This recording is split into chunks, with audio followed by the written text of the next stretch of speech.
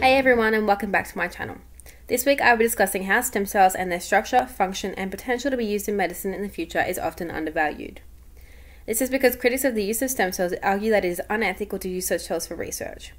It is a complicated issue though because much of the public is unaware about what stem cells actually are and about the alternative types of stem cells that can be used instead of embryonic stem cells found in fertilized embryos.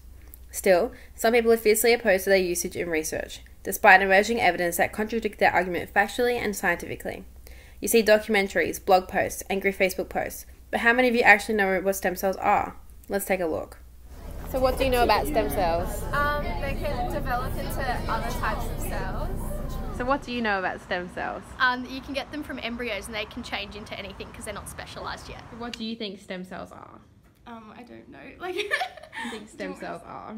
Aren't stem cells from like the baby cells? Like, so what do you guys know about stem cells? Um, nothing really. What do you think stem cells are? Um, I, I think stem cells are like um, a part of the brain, and like I know that they're used. I think in like um, like you know biological like technologies that are coming up, and they can like fix a bunch of things that are wrong with people. So, so what yeah. do you think stem cells are? I think stem cells are cells that are taken from your spine and used to build things. What do you know about stem cells? Um, I don't know anything.